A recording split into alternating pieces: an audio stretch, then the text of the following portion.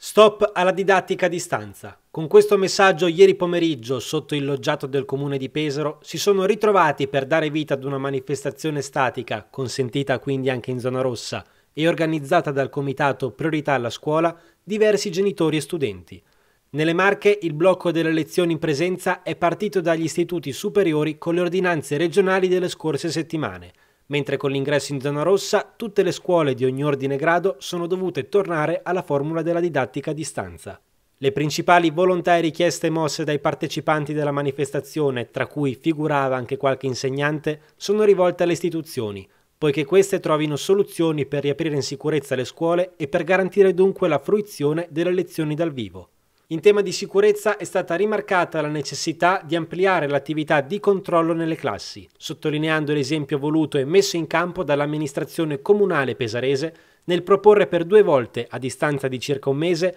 uno screening che fotografasse lo stato di salute delle scuole indicando i numeri del contagio che si registrano all'interno dei plessi.